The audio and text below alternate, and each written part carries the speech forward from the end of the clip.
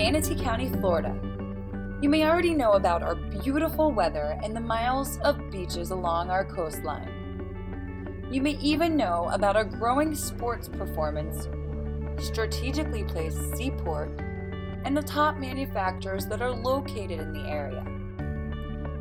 There's a lot that you may already know about us, but when it comes to economic incentives, we want to know about you. Our Economic Development Incentive Program is individualized. We work with each company, we develop our team of partners, we meet with the company and we find out what the company needs, what interests them about our community, and then we try to plug them into all available resources.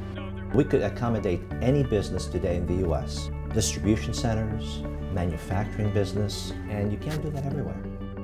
Working together with our partners in the community is how Manatee County successfully adapted individual incentives for over 60 companies since 2009. We knew we were going to relocate our business and we could have gone anywhere in the United States, so we were sort of looking around, but this really suited us. You know, it, was, it was good for the family.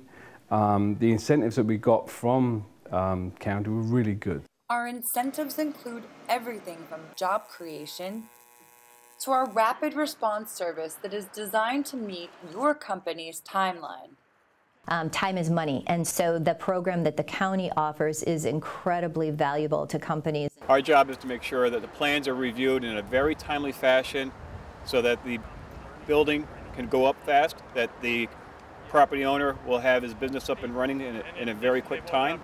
Stormwater facility for Stephen James is the COO of Expite Technologies and very familiar with the county's rapid response service. We actually relocated our facility from one place to another within the county, and Manatee County was instrumental in helping us find a location, helping us get involved with certain permitting that we needed to do as we completed the build out of our new facility here.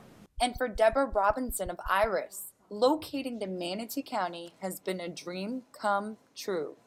We, we started, it was obviously just the two of us, and um, now we're at 30, 32 staff here.